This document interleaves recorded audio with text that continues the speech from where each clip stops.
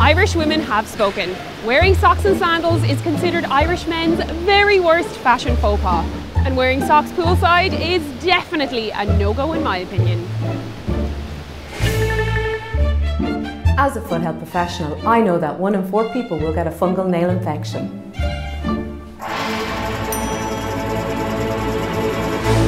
That's why it's important to inspect your feet regularly and I have some simple tips to get your feet summer ready and to prevent any fungal nail infection.